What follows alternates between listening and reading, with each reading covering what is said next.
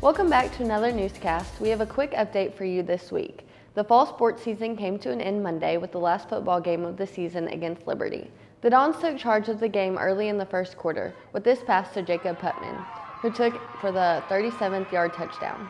Later, the Dons would run a reverse play, and again, Jacob Putman takes off into the end zone for a big 65 yard touchdown.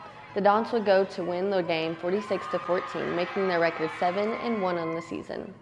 With the end of the fall sports season, that means the fall sports banquet is coming up. The banquet will be held Monday, November 11th at 6:30 in the high school gym.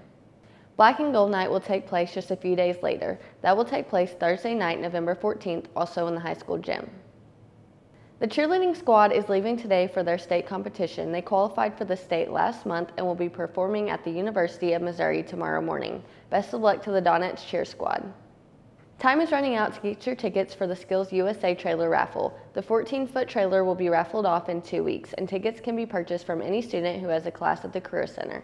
They are $5 each, or you can get five tickets for $20. The drawing will take place on November 12th. And that's news and announcements for this week. Here's your weekend's weather forecast.